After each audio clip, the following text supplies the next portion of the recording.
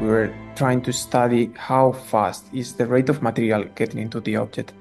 And what we suddenly found is that there was a very strong growth of material that was impacting the central object. And when we saw this, it's when we realized that it was a very special uh, phenomenon. This is the first time that this kind of phenomena has been observed in such a low mass object.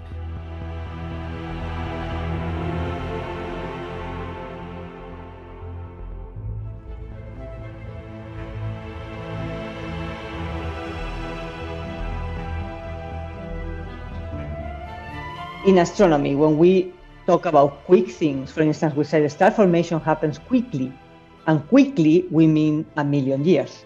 Okay, uh, so quickly is very relative.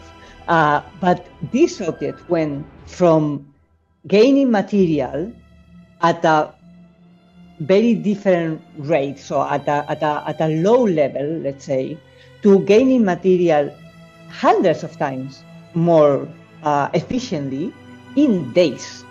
That is like something that happens in a matter of days and months in astrophysics is crazy.